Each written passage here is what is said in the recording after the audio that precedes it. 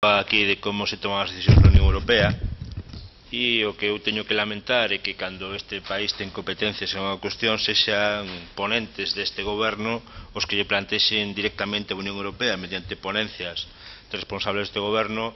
eh, a cesión de competencias que son propias a este país á Unión Europea. Parece que co único obxectivo de que canto máis longe este o lugar de decisión, máis difícil é que os eh, afectados polas decisións poidan, eh, digamos que, eh, antepoñer os seus intereses aos das grandes multinacionais. E nese sentido é a, precisamente a pregunta que lles facemos. Hoxe o persoa que ven a respostar participou, alo menos en dúas reunións, unha en Bruselas e outra en Gaia, en Portugal, como ponente dunha proposta de acuicultura que contén algunhas das cuestións que nos creemos que son absolutamente graves, non? E queremos preguntarlle de por que dende Galicia se defende esa posición. A primeira é eh, como é posible que unha a, actuación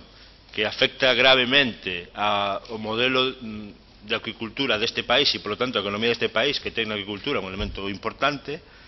é tratado por parte dos eh, membros deste goberno a través do Comité Europeo de Rexións sin trasladar as posicións que defende este goberno nese eh, Comité Europeo ás persoas que se verán afectadas polas decisións que se tomarán eh, a través dese Comité Europeo.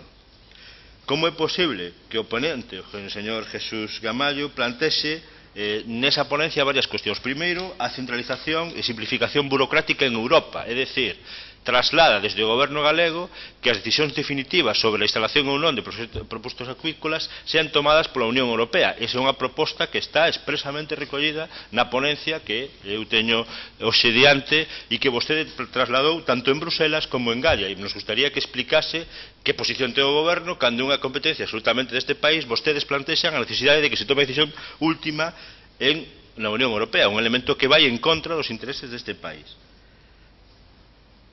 que sea ademais a Unión Europea quen estableza a guía de eh, selección de emprazamentos para estas actividades.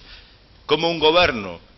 que aspira a gobernar un país non defende este país e pretende que a Unión Europea determine en que lugares e que tipo de instalacións se poden facer en Galicia. Eso é asumir que vostedes se entregan a Galicia como se fose unha colonia a Unión Europea para que dende a Unión Europea determinen como se explota Galicia. É un elemento claro dunha eh, política de sumisión aos intereses económicos da Unión Europea, da Alemanha e das grandes productores eh, en contra dos intereses eh, deste país. Como nesa mesma ponencia vostedes plantexan que a outorgación destes recursos se faga incluso por subasta, é dicir, ao mellor postor,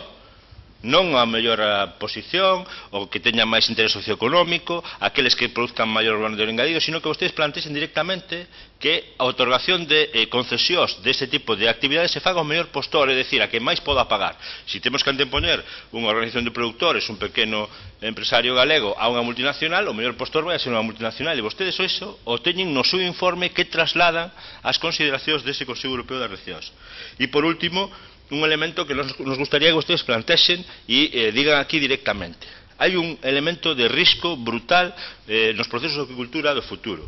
e é que a acuicultura non se destine ao consumo humano, sino que existan zonas de acuicultura donde o que se produzca este destinado ao consumo da propia acuicultura, é dicir, plantas de acuicultura que elaboren comida para outras plantas de acuicultura. Nese mecanismo absolutamente perverso donde a Xunta de Galicia está promovendo a acuicultura de especies carnívoras, cando debemos de ir a outro tipo de acuicultura que fuxe o máis posible de especies carnívoras que a outro tipo de especies. E vostede, vostede defendeu en Gaia e defendeu en Bruselas a necesidade de que neste país estén plantas non destinadas a consumo humano Cal é o objetivo que persigue eh, a Xunta de Galicia plantexando perante a Unión Europea? Primeiro, cesión de competencias. Segundo, que sea a Unión Europea quen determine en que lugares e en que zonas e que tipo de instalación se poden poñer en Galicia. E terceiro, que unha das elementos a explotar sexa a acuicultura para consumo non humano. Me gustaría que aclarasen esas cuestións, porque é certamente grave. E por último,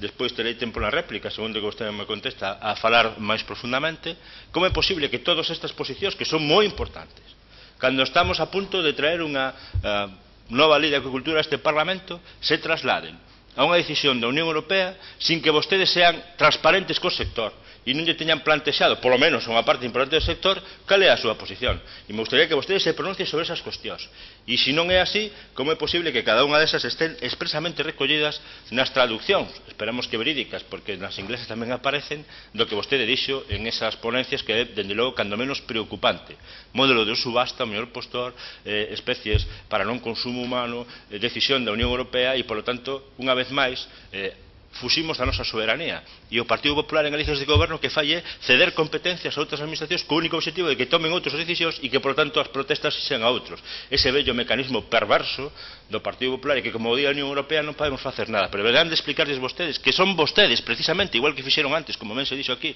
co tema do etiquetaxe, que a explicación é absolutamente peregrina, que se deu fai un minuto, vostedes son os que ceden e propoñen a Unión Europea que asuma competencias que son propias a Galicia. Eso para nós é unha traizón ao país e, dende logo, unha actitude de incompetencia gubernamental eh, manifesta. Ben, pois, pues, señora Gamallo, é o seu turno.